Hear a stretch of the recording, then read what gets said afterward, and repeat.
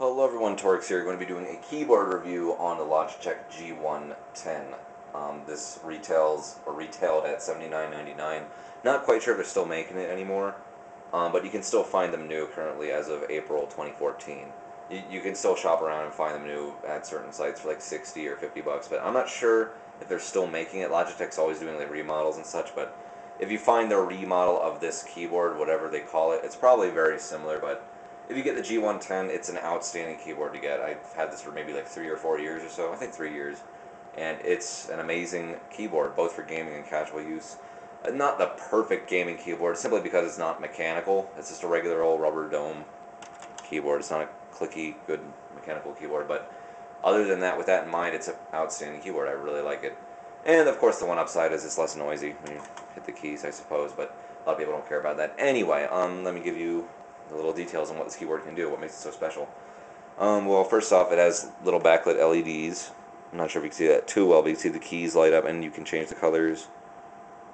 It goes from blue to red, and in your little options menu in the um, software Logitech gives you that you can download, or with CD or whatever, when you get this keyboard, you can set what you want the colors to be. It only goes from blue to red, the hues. So you can choose any color in between those, and you can make it less bright, less saturated and such in the computer, but I have it set to just straight up blue and then sort of a pink purple, I guess, and then a kind of magenta red. But yeah, it's it's not one of those crazy ones where you set a green, orange, red, all different kinds of hues and such. However, it's it's still pretty cool for what you're getting. You're getting anywhere from blue to red, anywhere in between those colors. But um, so that's the first thing. And not only do these little buttons here change the colors M1, M2, and M3, they also change what these G keys do, these function keys. They call them GT, G keys. Um, but they're basically, they're macro keys. And basically, if you set it, uh, I could show you how to do that in a minute, but basically you hit this little recording button up here. It says MR, and then, yeah, that's glowing, and then you hit any G key you want. So you hit G12 and you'll notice it starts to blink. And then let's say I did Control Z hit that, and then you just hit MR again. So from then on, I've recorded this G12 key to do G, or do, sorry, Control Z. So that's what it does. And so you can, I don't know how many keys you can go up to on one G key, maybe all of them if you wanted, but they're macro keys, and you can do it for each one. And each time you hit M2 and M3, or the other buttons anyway, it's a different combination. So this G12 would no longer be Control Z because I'm on M2. If I went back to M1, then yeah, that's Control Z but now it's not anything. That's not anything. So you have 12 G keys here, and then it goes times three different modes. So that's 36 different uh, function keys you can have here, or let's call them macro macro keys, and not function keys. These are function keys. 36 different macro keys. That's pretty amazing. I don't use them that much. I I haven't set them to anything really. I haven't used them really, but I know they are handy for people who are into that. I, I should probably get around to that sometime. But anywho, that's just one function, so you have a lot of combinations here. And of course, also changes the color. That's nice. This is a little switch here. That's what they call like gaming mode, I guess. There's a little picture of a controller on there. You see it turns on. It's, it's very simple. All that does is it does not allow you to hit the start buttons, or when you hit the start buttons, it doesn't do anything. It disables them. I think there's another button that disables it. I don't even remember. But if you're in a game or something, you don't accidentally like slip and hit the little start button and minimize your game, or whatever. That's kind of the point of it. But not really a big deal, but it's kind of cool to have.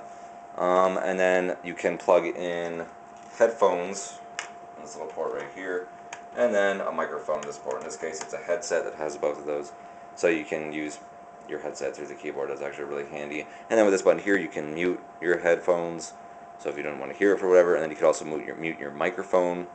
This button's the blinking red, that means they're muted, and you can do them individually or both. So that's really handy. And then there's a little USB port here. I think it's USB 2.0 or whatever. Yeah, because the keyboard's USB 2.0, so obviously it's USB 2.0. That's really handy. I like having that. Um, but yeah, just showing you around there. There's also, you can also just turn the LEDs off right here. So that's handy if you're just, for whatever reason, you just don't want to have them on.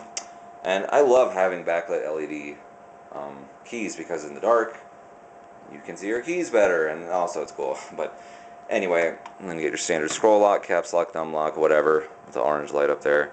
And then this I find especially handy. This mutes your whole computer, your settings. And then this also is volume adjustment right here.